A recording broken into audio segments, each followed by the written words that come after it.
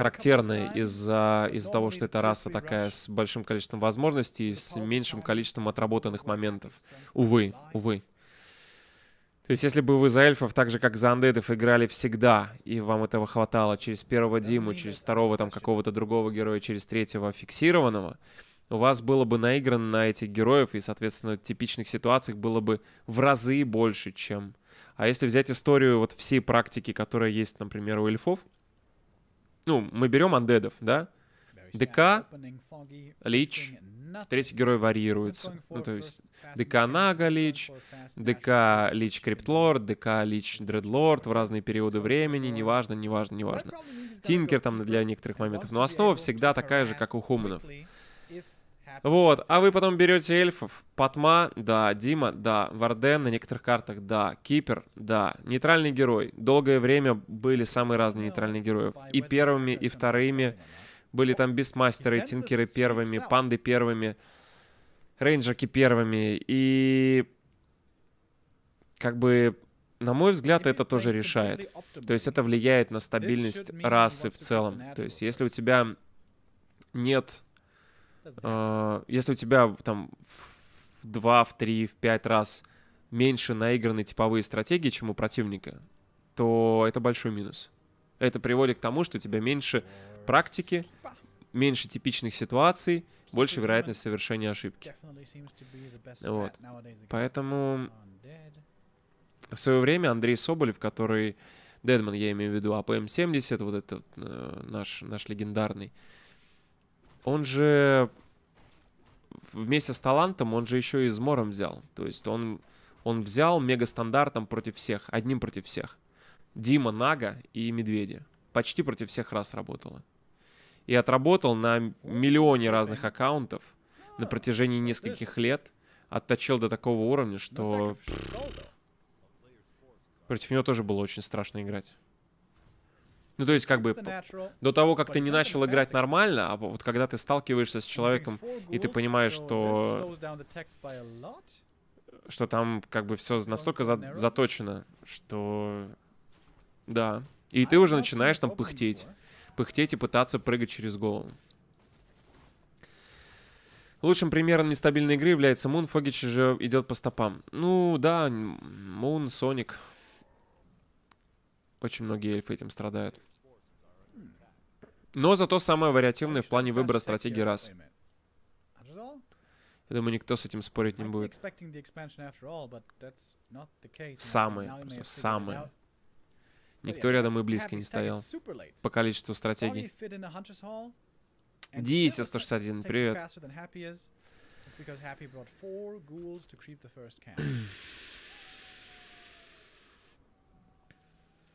Ну что, у нас первый кипер здесь.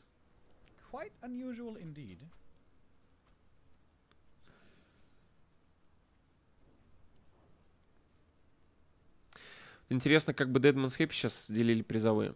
Но если бы Андрюша не, пред, не, пред, не, не прекращал играть, то ну, у нас был бы такой же игрок, как Граби, который бы не прекращал бы играть.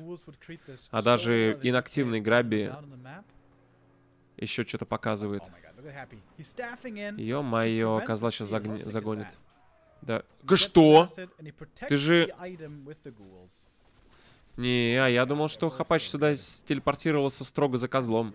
Не только за, за артефактом. Но он просто козла вроде как здесь окружал в такой ситуации. Да, все равно будет замечено. Самое главное тайминг построения этого дерева, что ты знаешь, что... Блин, да как Хантрес это... Ой, просто...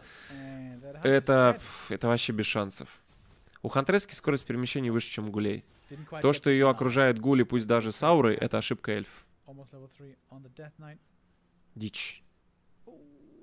И разведка еще при этом по таймингу. Да, конечно, конечно, видел. Is he just gonna book it over there? Oh, yeah, he is.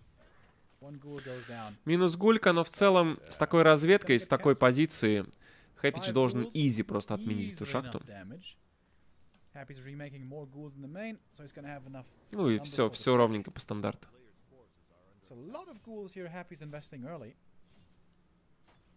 But it seems to be worth it.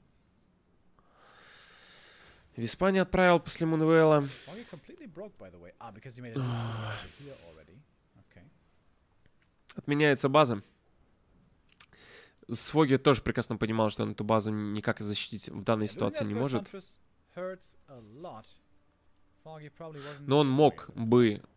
Эта база могла за- э, быть защищена, если бы Фоги дольше морочил бы голову Хэппи, не- то есть не отдал бы, не отдал бы кота наверху. То есть по- по- побегал бы, поатаковал, по- able бы дистанцию, пон- понападал, но не отдавал бы кота. Да, и и спокойно. Oh. Такое унижение.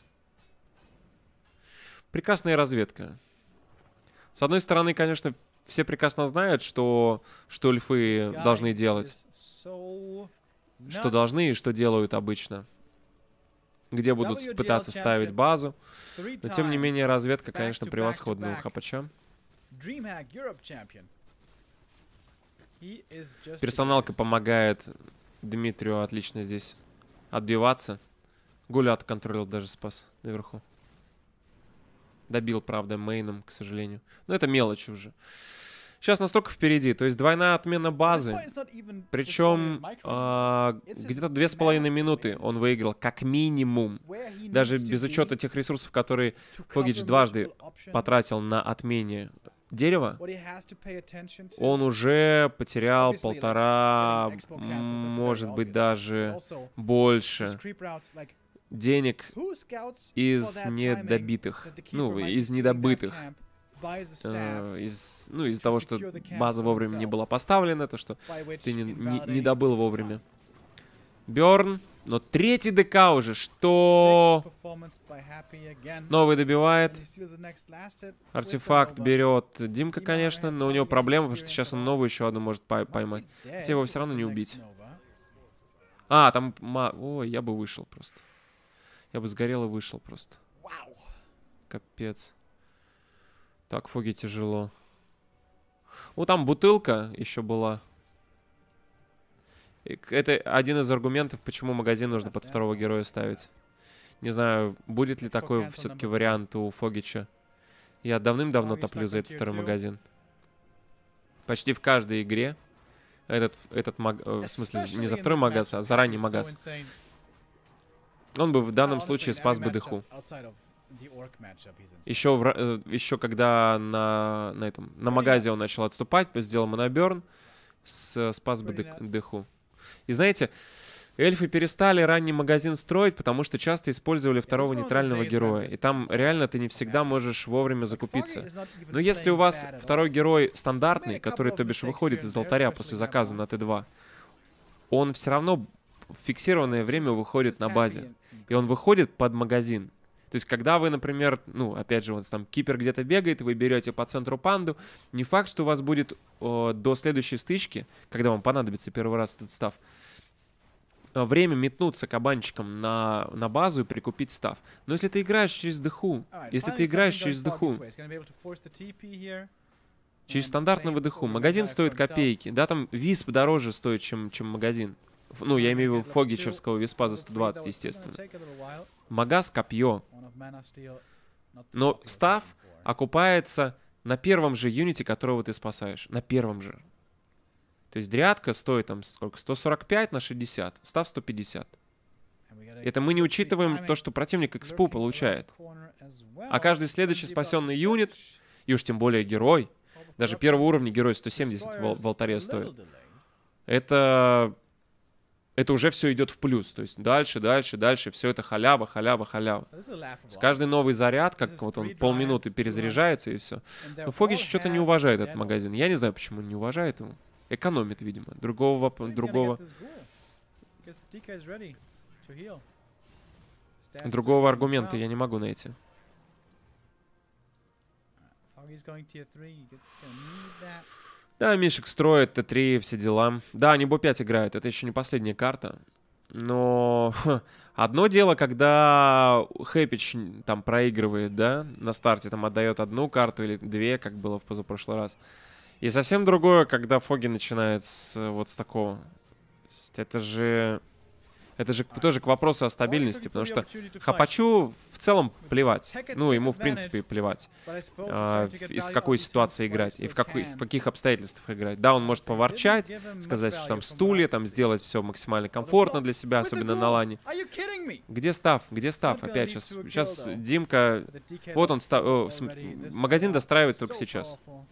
Только под арбон делает магаз.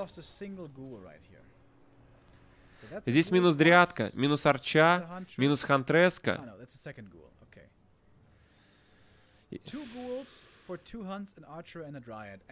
Став бы уже трижды окупился. Трижды.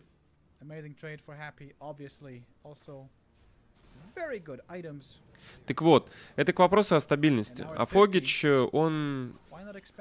Он переживает. Он от морали очень сильно зависит. Не знаю, какие он эмоции испытывает. Можно спросить его или только догадываться. Но он гораздо менее стабильный. Да, Лич 3, ДК 4. Разница по уровню героев не такая драматичная. Но вот эти вот сигналы все, которые поступают из разных сторон, да, по контролю, по этим всем мелочам. Ну и по потерям по юнитам, по мелочи, конечно. Это...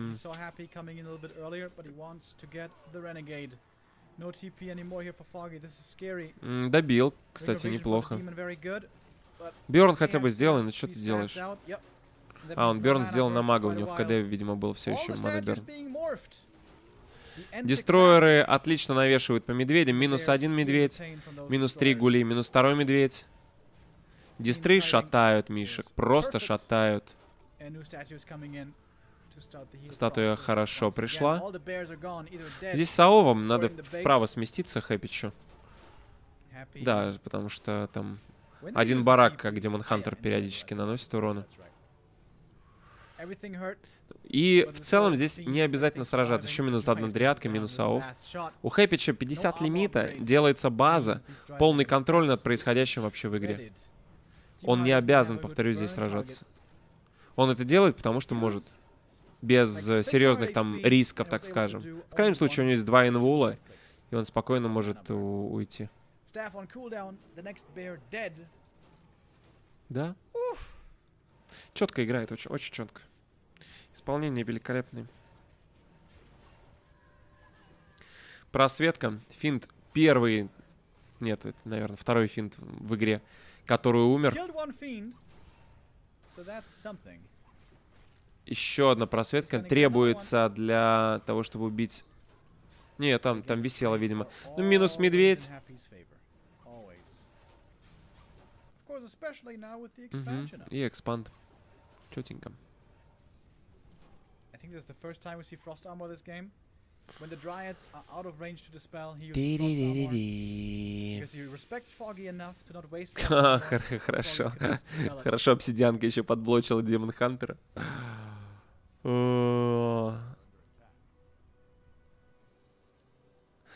Хапачу в целом, особенно ну, вот Хапачу, Скаю какому-нибудь еще. Да, ГГ пишет Фоги.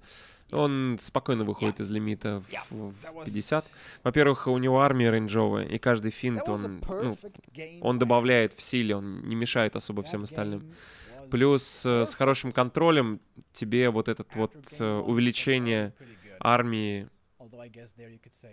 ну, знаете, одно дело, когда ты заказываешь две дриадки, 50-56, а потом в начале сражения их не доконтроливаешь, и они там кричат и умирают. А другое дело, когда в армии появляются финды, которых хрен так просто убьешь. По крайней мере, пока есть кайлы, пока там еще закопались, еще просветили, еще там, там отвели до этого еще всего. Короче, больно, больно смотреть. Я за эльфов топлю часто. Не по своей воле. Нет, ну, конечно, мне хочется, чтобы эльфы доминировали. И у Муна, кстати, получается это. Но...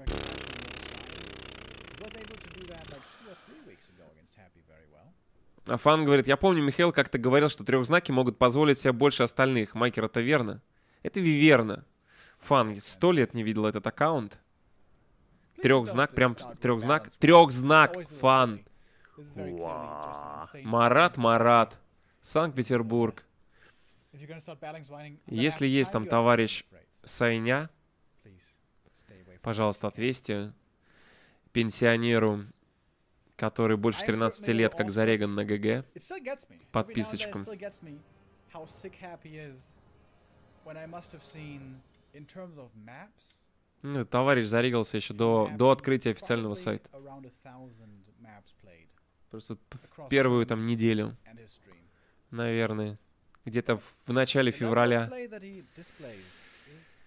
Ну что, погнали. Я не верю. Я вообще не верю, что Фоги способен с 0-2 Hopefully вырулить с такой игрой.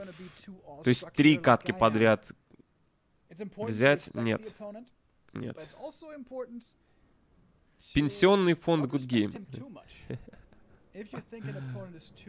О, Трисандра Михайловна пришла ко мне. Awe for Ну давай, я тебя поглажу. Чё? Настроение хорошее, мышку мне не нужно трогать.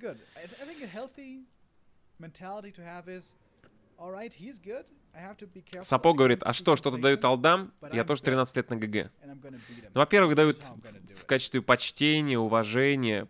У нас есть две специальные ачивочки на сайте, которые достаются исключительно по дате регистрации. То есть, если вы даже там молодец, там стримите или там турниры тащите, или там саппортите или подписываетесь, но зарегались после определенной даты, вам уже не видать того лампового старого кубка нашего со старого сайта. Фан говорит, с If you 19 wanna risk it февраля. А. Похоже, Хэппи надеется пораньше закончить, чтобы так успеть на героя от Майкера. Мы с такой игрой успеем фуфашечку катнуть. Я надеюсь, соберемся и успеем катнуть. Потому что больше часа может остаться. Улан Удэ говорит, очень нравятся твои стримы, сейчас смотрю прохождение Bloodborne. Вчера смотрел до 6 утра. О, давно это было. Улан Удэ, спасибо большое тебе за, за то, что и посмотрел, и пришел, и поделился. Я, конечно, живу просто... Я, я, я не смотрю те видео, которые были раньше. Иногда товарищи реально приходят, которые... Ой, там, я на Парагона наткнулся, а Парагону там уже I 5, was что ли, лет. Или там я XCOM посмотрел. Я говорю, здрасте, пожалуйста. Добро пожаловать на ГГ. Вот, а у нас тут просто все, все в прямом эфире идет. И совсем другое, другая обстановка. Снейпер говорит, привет, Майкер, фуфа было вообще супер. Вообще супер. Окей. А я не смотрел Майкера, наверное, лет 6, щечки подросли. Я пополнел. Я раньше весил там 65, сейчас 74. How much Все равно худой. Но, да, лицо, лицо округлилось. Ну, меня кормит. Пока меня кормит. Бэкпэк. ДК пошел, да, действительно, харас. Gonna топчик говорит, «Эмадга». Я не таким голосом это писал. Да ладно. Бабушка Муна здесь. Ой. Oh, Опер... О- Опенхеймер говорит, Парагон, это классика, на это надо знать, три раза пересматривал. А я что-то зашел разок в... Тоже кто-то говорил о Парагоне, зашел, тыкнул на запись, какой-то бой посмотреть. И что-то сам залип на полчаса. Интересно было повспоминать, ну и что-то комментирую, там стараюсь. О, беда! Uh. Да, успела? Странно, конечно. ЮДК, слушай, у нас там помощник не это самое, не, не на связи, поэтому я бы сказал подарить примачок, но его нет. Takes куда-то отошел. А, хорошая фишка сейчас была от Фогича, 75 видели? Он мог спасти этого виспа, если бы был чуть-чуть побыстрее. Дектор говорит, 18.02 дата реги, это же 13 лет, кто-то в школу уже пошел, почти been Да, да, да, очень много всего. всего хорошего. Было и будет. На стримфесте будем участвовать, уже решено. Правда, не совсем понятно, в что конкретно будет. Ну, по некоторым граням уже понятно, что будет. И там еще партнера free подтаскиваем. Опять же. РЦГ летом. А в, в следующей середине следующего месяца я в Челябинск еду. А, в- на пару дней покомментировать вместе с Каби а, финал по StarCraft 2. Ну, решил, почему бы, почему бы не съездить. Спасибо, Додидо. Ввиду отсутствия помощника, с- подарок сделал. Ой, Маджестик тоже здравствуй. Сеня говорит, не подарить трехбуквенный ник, не показывать, мне с него куча таких же начинающихся. А, это снова ты. А ну, Интеллект Миша, может, к Новому году подумаешь над Командос? Так, давайте к игре. Сейчас мы ностальгировать начинаем, а нужно же посмотреть сначала. На, на фуфашечке нафлудимся, если что. Готовьтесь там, расчехляйте мышки, готовьтесь, раскликивайтесь. Поиграем.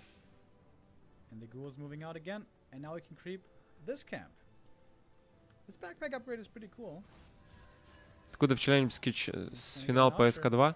А там какой-то финал то ли студенческой лиги, то ли чемпионата какого-то России по, по Старику. То есть... Пригласили, я сначала подумал, зачем? Ну, то есть там нет, э, ну, точно не ради денег. Но учитывая то, что у меня бабушка из Челябинска, ее, правда, нет уже, но я там бывал несколько раз. И все равно это пара-тройка дней, а работать все равно можно на дистанции. Решил, что смена обстановки будет интересна. Плюс пообщаться можно будет с тем же самым Каби. Сто лет не виделись. Он же в Питере. О, минус собочка. Me and my wife, прости, пожалуйста. А, вечер же, а ФФА много сил требуется. Есть одно из занятий специально для таких. Соколик недавно был замечен в чате. А, совращают, совращают. Привет, жене, me and wife. Базу прекрасно, постоянно Хэпич проверяет. То есть там только что скелет разложился на севере. А Лотстрикс тоже подарки. Добрый вечер, это финал чемпионата России будет в Челябинске. А, Нав... ну я, я не, не, не помню название турнира точно. Эндман, добрый вечер. Пока, пока не то чтобы хорошо, но терпимая ситуация у, у Фогича. Терпимая, терпимая. Есть, э, да, Кипр не третий. Да, экспанд э, не строится, но в целом это не ситуация, из которой ты... А, экспанд построился, извините, я пропустил. Да, да, да, они играют Б5. Это последняя карта. Ну, судя по тому, что мы увидели в прошлые разы. Не, здесь, здесь, кстати, Лича можно окружать вообще. Сложновато будет. О, о, о, а это что было? Or maybe not. Maybe he wants to buy more time for his tech. Prevent creeping for even longer. Ай, как же хорошо. Не на некоторые моменты я думаю, ну какой моноберн? А, там был, была новая еще. Некоторые моменты даже не хочется комментировать, потому что если вы смотрите на экран, я уверен, что большая часть из вас играла в Warcraft, кто-то еще играет до сих пор. И с, способны оценить как бы что без слов.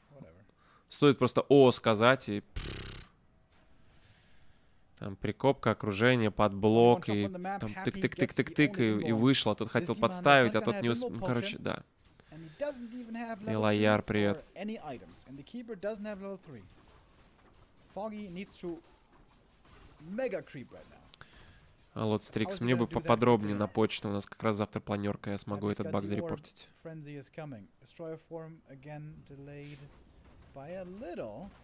Разбежались, крипинг. У Фогича эксп скоро будет уже добывать. На каждый О приходится альтабаться. О, да не, рано, рано пока, подожди. Подожди. Бз. Гулька била только что, только что Лича, потому что тролли прям основательно насели на него.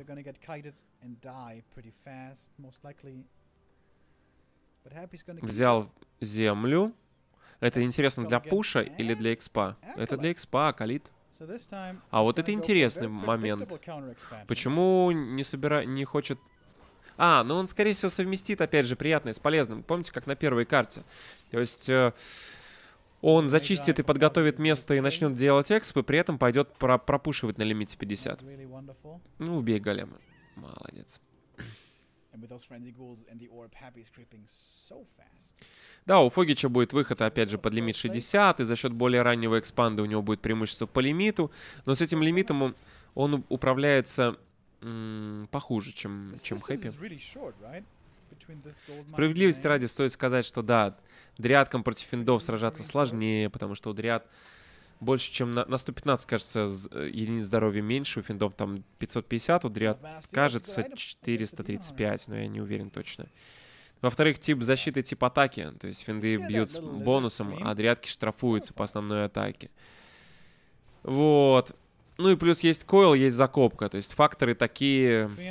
Иногда, в- когда уже финдов, там, не знаю, 7 плюс, ну, 6, наверное, плюс, плюс арба, Pretty лича, sure. ты уже дрядку, кроме как стафом, никак не спасаешь.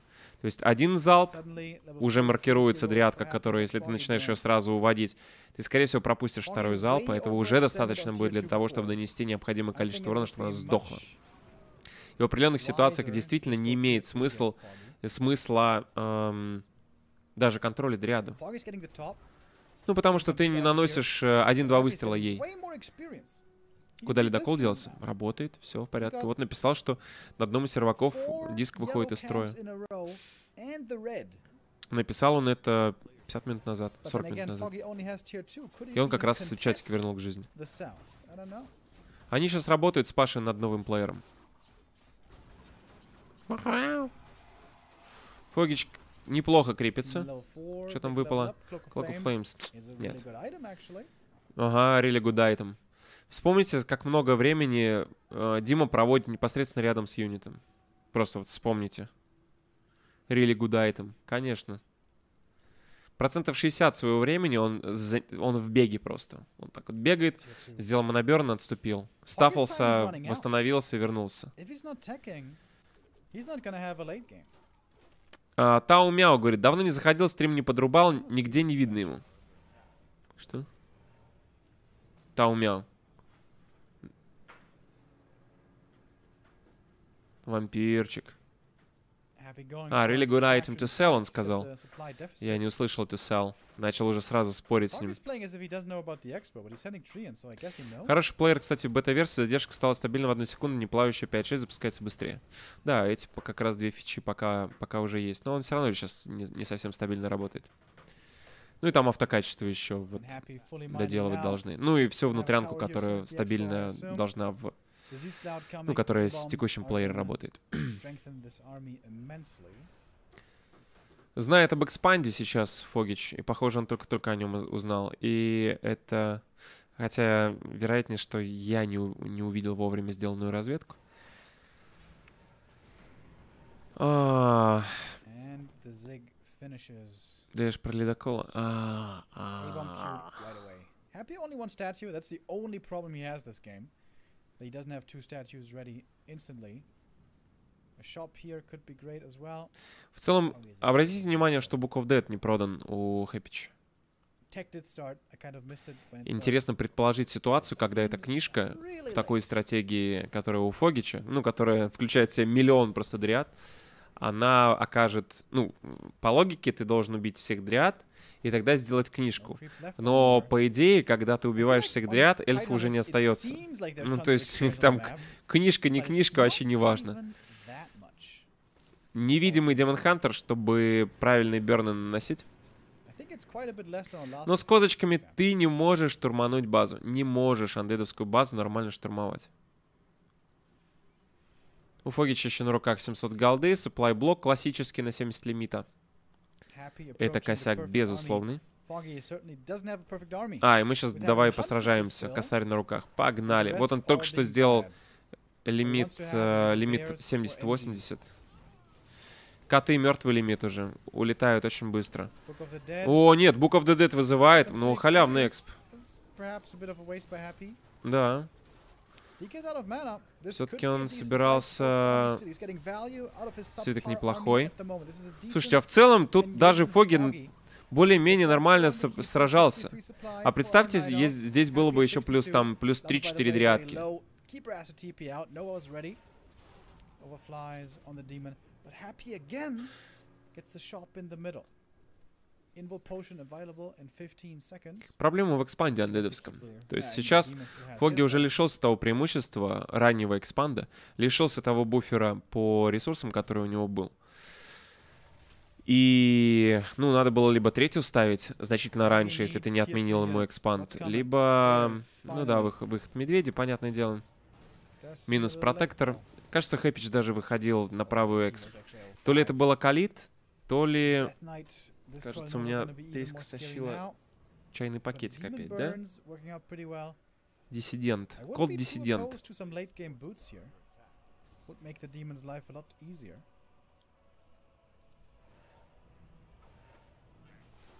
Торопиться Хапачу вообще некуда, поэтому он собирает последних несчастных нейтралов на карте.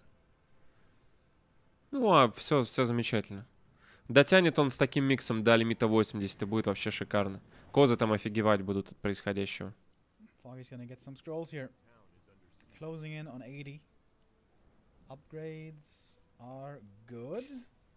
Триса хочет в кадр. Ладно, заходим. Такая ты здоровая уже, ё-моё. Nowadays, 2-0 only results in plus 3. Мишки по дистров. Ну да, медведи появ... Дестройеры появились раньше, чем медведи. The Doom говорит, Мик... Майкер, давай после игры глянем ролик на ПКЛ 2004, поностальгируем немного, послушаем твои басни про игроков времена. А, видимо, ты уже застал, когда мы смотрели этот ролик. Мы к нему возвращались сразу, наверное, три. Ох, я помню все эти лица, Караваджо, Карма, Кощеев, там, Писклю, что... Ах адвоката. Старички. Хорошо играли вообще. Такие. Ну, в целом, знаете, школа стратегическая у нас очень хорошая. Что по первому Старику, что по третьему Варику. И даже по второму Старкрафту. СНГшный я имею в виду. Любит у нас хорошие стратегии. 80 лимит у Фоги, 75 у Хапа. Хапа. И... Да, грейды хорошие, согласен. Сейчас будет 3-3.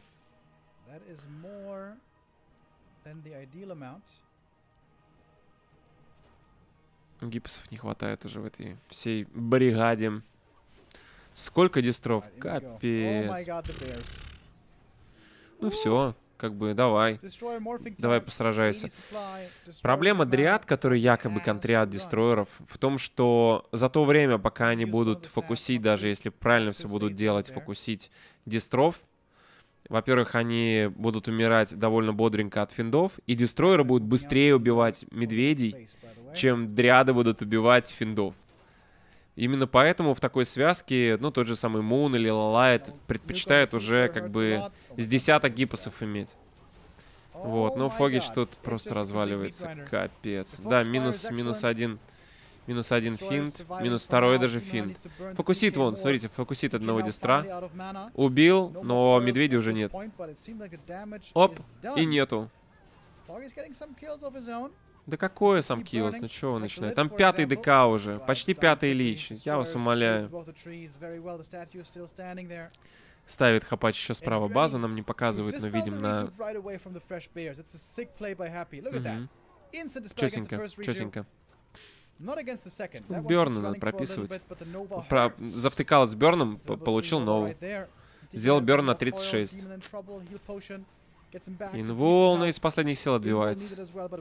Лимит типа 70 на 65, но эта битва проиграна просто почти в, подчистую.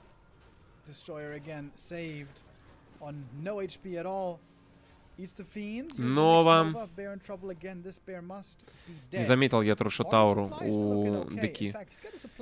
Хорошие ауры у Хапача, конечно. Да. Виспы отчаянно пытаются отчинить. Нова третья влетает, минус все виспы. Койл и телепорт. А телепорт очень логичный. Во-первых, у тебя строится третий, во-вторых, ты только что...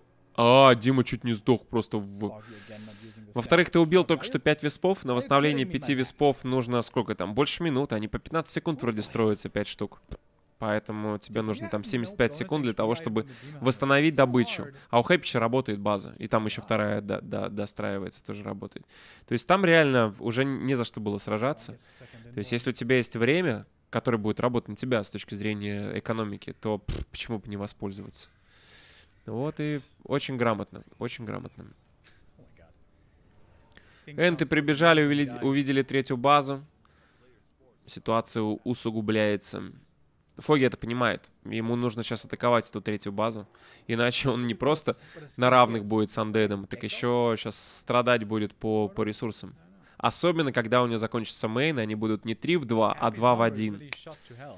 И пока там дерево дочапает, еще андед будет в два раза больше денег получать. Плохой вариант. Поэтому Фоги выдвигается на эксп, но ситуация у Хапача такая, что лимиты равны, герои лучше. Я... Серьезно, не будешь сражаться? Не верю. А, он делал... О, в козла влетает сразу. Заметили, как дистры сделали диспл на, на козла? Они пытались обнаружить Демон Хантера. О, хороший став. Красиво. Но тут немножко не доконтроливает. Да. Ну, какой opportunity? Забей. Ну да, было... Но нет. Попытка окружить вообще классно сейчас отконтроливается. Лича пытаются окружить. Лича, Лича, инвол на Личе, съедают. Козла бьют, козла! Не дотянулся стафом, а там КД был. У минус козел. у сейчас отчаянная попытка Лича убить, но все медведи сдохнут на этом Личе. А, там инвол 15-секундный, судя по всему, был. Нарезает там Димка, конечно, старается. Медведи 58 на 56. Запелин помогает, но Дима никакущий. Берн на 150, неплохо, не успел сделать. Ай, дирижабль, дирижабль пал. Инвул, срочно! То с таким головокружением мы далеко не убежим. Димка, Димка, держись, инвул. Подблочь слева козой. Молодец. Да нет, там инвул, и он быстрее убьет, умрет Дима, потому что его сейчас отпустят. Блин, как, как, как же близко. У Хэпича два косаря на руках. Дмитрий, да заказался сейчас. Очень сейчас был сфокусирован. Я бы даже сказал, зашорен немножко Хэппи. Он прям сейчас пыхтел, пыхтел, пыхтел, ни на что вообще не отвлекался. И в этот момент как бы три базы делали свое дело, набирали золото, и две... я просто очень редко вижу ситуацию, когда у Хапача на руках, ну, когда ты должен заказываться, больше двух косарей. Это обычно... Обычно Фогич этим страдает. Да, высокоуровневые герои эндедовские. 6-6 на 4. Прости господи, козла этого. 4-5. Димка получил много экспы, наполовину шестой.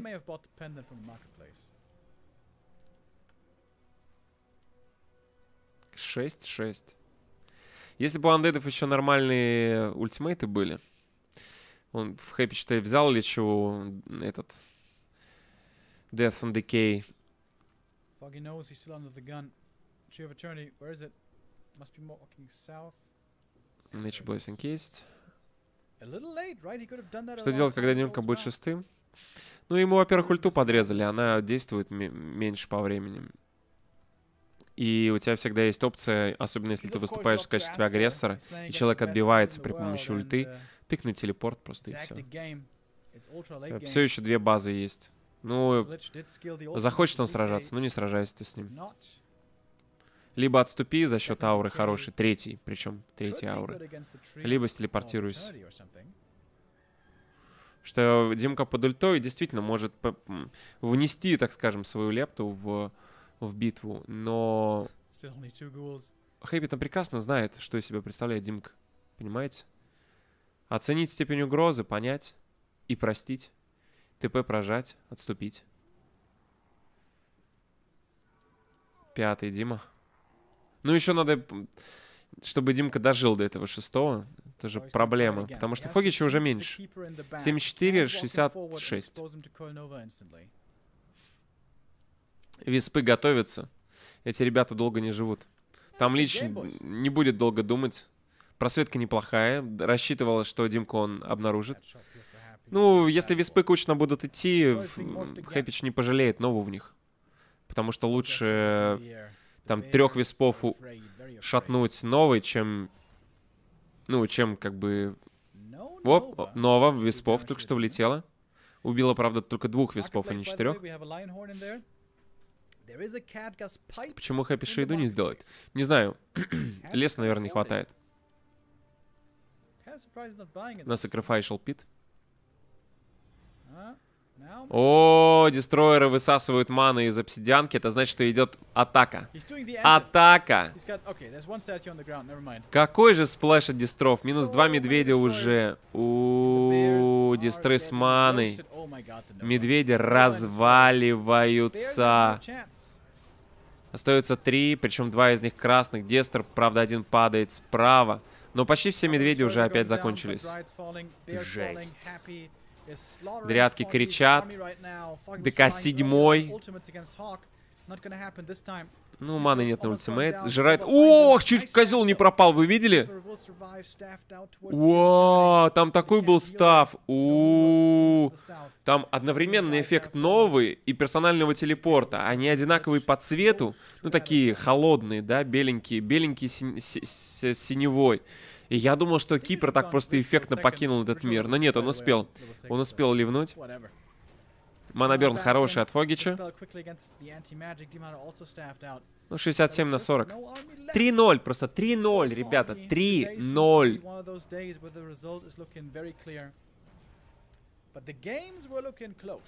Конечно, close. У него games looking close. Я всю серию с улыбкой на лице такой сижу. Не знаю, за что зацепиться. Просто. То есть всегда, всегда немножко, но впереди. Close, close. Покупает ауру Архмага.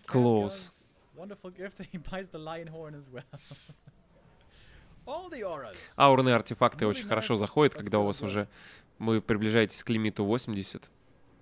Alright, Foggy has a dream. One metamorphosis, one dream. Там 5 аур. А, еще паладиновскую взял. И, скорее всего, трушот он тоже приобретал, а не выбил, потому что она появилась, я помню, позже того, как все основное было закреплено. Короче, не дотянул ДХ до шестого. Мне кажется, он дотянет, но даже в такой... Ну, разница в 25 лимита. Что здесь Димка здесь сможет сделать? 250 mana, so- Короче, Хэппич убивает э, Tree of Eternity. Главное дерево на два косаря. Фоги в этот момент пытается шатнуть э, эту шахту. И шатает. Just mass on summons. He's like, "See you later, А nerd." тут, тут э, на Акалите можно шестой уровень получить. What? Oh, А, слушайте, там же дерева нет. Там же наверху дерева нет. Что я несу? И Фоги, соответственно, не может э, отстроить... Да, шестой Дима the уже. Опс.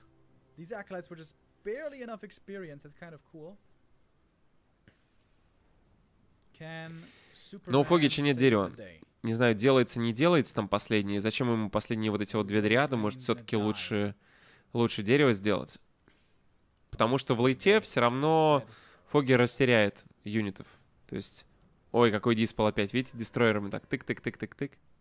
Да, если бы была шейда, Хэппич много денег бы сэкономил. Он уже столько просветок купил в попытках Диму проконтролировать. 20 supply rate. Alright, demon. О, Демон Хантер, шестой уровень, сразу минус половина хп. Что? Реджув, инвул.